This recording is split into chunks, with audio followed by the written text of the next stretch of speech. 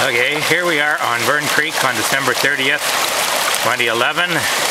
And folks, this is why please, please don't wash your cars on the street.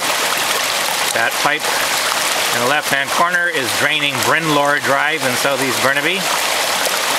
More than likely, somebody's washing their car with lots of soap on the street. That soap is going straight down the nearest storm drain, into the pipe, and directly into the creek. So as you can see, we've got this nice trail of foam. So once again, please, please do not wash your cars on the street.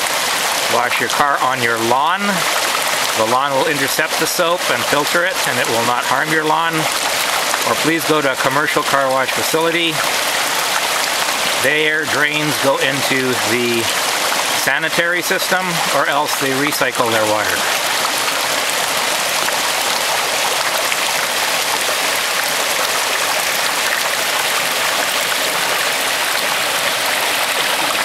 Not a nice sight to see at the tail end of spawning season.